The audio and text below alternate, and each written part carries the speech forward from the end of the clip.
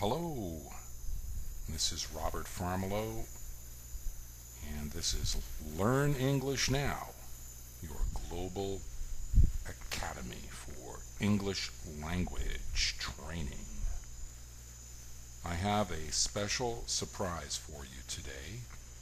I'm going to show you a secret method to really go deep into the English language and we're going to use two superpowers at the same time. Are you ready? To do this method, we're going to go here and type something in to the Google search.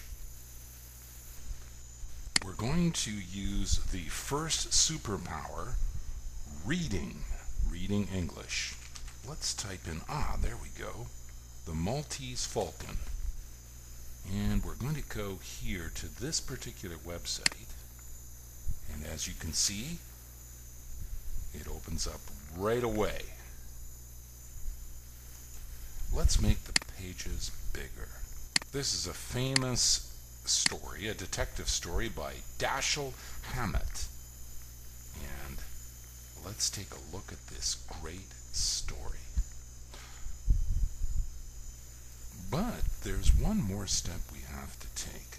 Let's open up another tab and go to YouTube and I'll show you the next part of this incredible and secret method. We're going to type in the Maltese Falcon audio book free.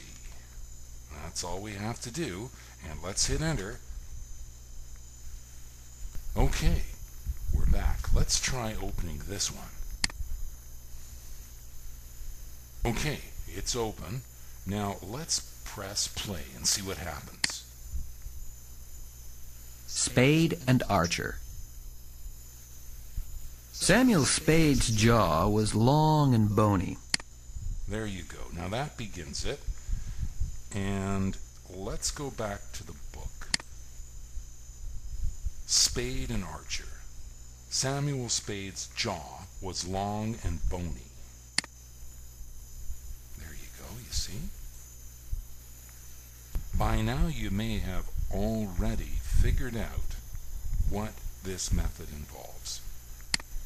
You listen to the audiobook. His chin a jutting V under the more flexible V of his mouth. His nostrils curved back to make another smaller V.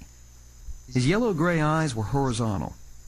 The V motif was picked up again by thickish brows rising outward from twin creases above a hooked nose, and his pale brown hair grew down from high... But wait a minute.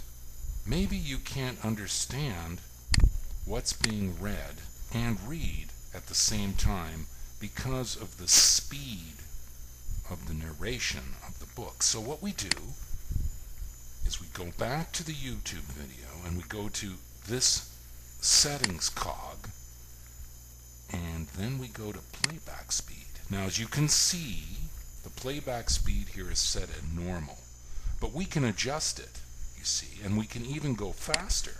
Listen to this. Forehead. He looked rather pleasantly like a blonde Satan. He said to Effie Perine, Yes, sweetheart?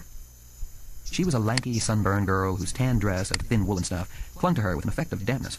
Her eyes were brown and playful in a shiny, boyish face. She finished shutting the door behind her, leaned against it, and said, There's a girl wants to see you. Her name's Wonderly. Mm, customer? Miss Wonderly?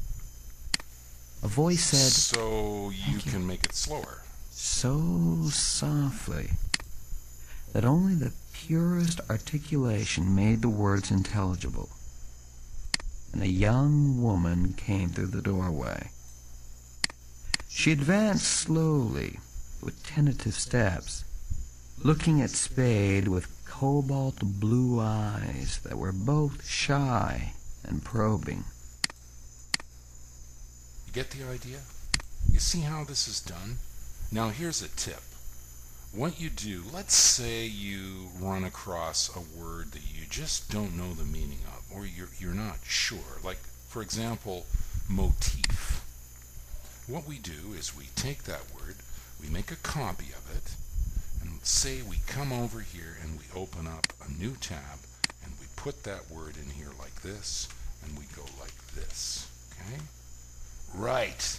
Now we do this. motif, motif, motif, And we can also go up here and make the page bigger so you can see what it means. Motif, a decorative design or pattern. And you can also come here to watch some mouth action. Kind of cool.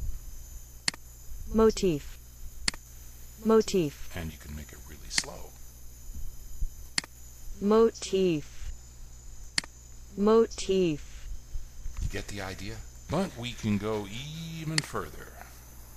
We can go back to our original and put in motif hit it. And then we can go here and take a look at some images of what a motif looks like. So we can see that a motif is a design, a motif. And another word for motif is pattern. So this is a super duper way to employ two of your superpowers reading and listening. She was tall and pliantly slender. Without Get the idea. Now, I do have a complete how to learn English, read English with these three super reading methods. And you can go here for sure and find some great tips and some great resources on how to do this reading thing. But let's face it, this method of combining the book and reading at the same time as listening is amazing because you get to practice your pronunciation skills.